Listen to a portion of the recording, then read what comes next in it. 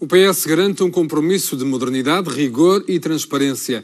Amândio Silva diz que o PSD fez do Conselho de Câmara de Lobos o município com o pior índice de compra da região e dos que apresenta a mais alta taxa de desemprego.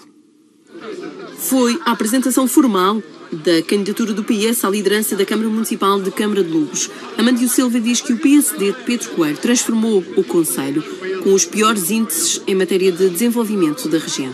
Hoje, graças à gestão do atual Presidente da Câmara Municipal, Dr. Pedro Coelho, o estado do nosso Conselho é o seguinte. Lobos apresenta o pior índice de poder de compra da região e o pior índice de poder de compra do país.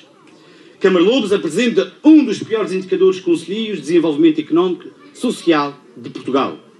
Câmara de Lobos é um dos conselhos do país mais afetado pela chaga do desemprego, com a mais alta, mais alta taxa de desemprego da Madeira e uma das mais altas do país. E, acima de tudo, desemprego jovem.